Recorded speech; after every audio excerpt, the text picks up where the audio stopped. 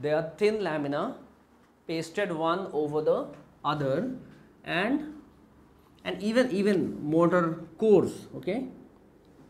So so you'll find that this is the rotor. These are the holes there. And these are lamina. So one over the other over the other over the other and it is all pasted. Even in the hugest of the transformers that you come across hmm, maybe 30 40 feet tall. Those transformers also will have uh, this and to hold this to hold these lamina you will find a, a hole here a whole bolt stuck all along and then then tightened with a nut on the other side. Okay and they are special bolts maybe at times 5 feet long. So it is that thick a lamina so you have to bolt it otherwise it flies off Hmm? due to the those currents moving in they also have repulsive forces.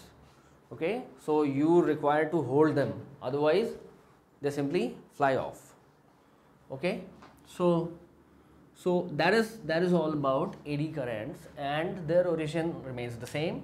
But where they are occurring that becomes different. So so instead of calling them simple induced currents we call them eddy currents. Okay? Fine